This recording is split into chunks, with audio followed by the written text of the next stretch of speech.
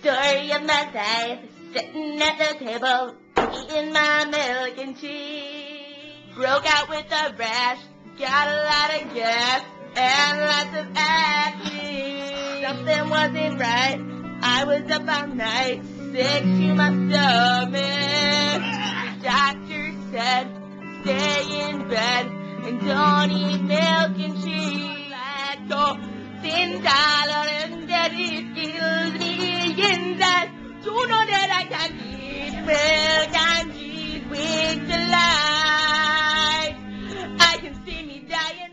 I don't want to have this anymore. I don't want to ruin my life. Every time I open the refrigerator, I see them staring back into my eyes.